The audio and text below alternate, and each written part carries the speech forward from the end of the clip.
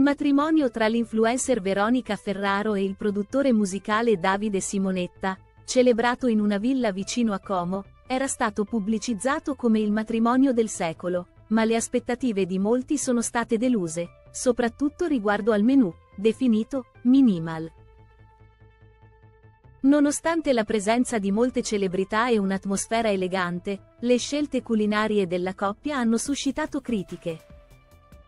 Il menù era composto da un antipasto semplice di pane e mortadella, primo di pasta al pesto, secondo di polpette di manzo al sugo e vino come dolce. Molti invitati hanno trovato questa proposta inadeguata. Ad esempio, uno degli ospiti ha commentato che il menù sembrava più qualcosa da consumare prima di un matrimonio piuttosto che un pasto celebrativo. Un'altra opinione ha sottolineato come le mamme napoletane non avrebbero apprezzato affatto la scelta. Tuttavia, non tutte le reazioni sono state negative.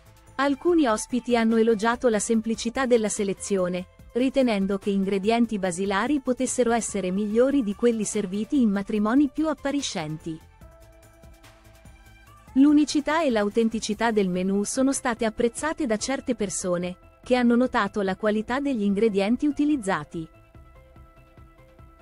A rendere il matrimonio ancora più speciale è stata la presenza di Chiara Ferragni, che ha avuto un ruolo importante come damigella d'onore.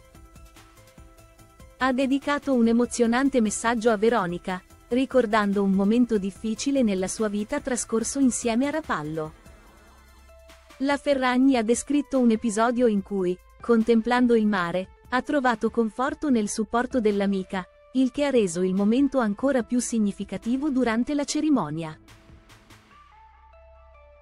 In conclusione, sebbene il menù del matrimonio di Veronica e Davide non abbia soddisfatto le aspettative di tutti, ha anche generato apprezzamenti da parte di alcuni invitati per la sua autenticità.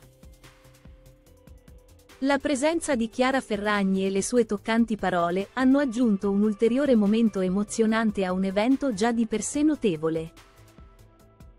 La celebrazione ha messo in evidenza quanto l'amore e l'amicizia possano brillare, anche al di là delle apparenze e delle tradizioni culinarie.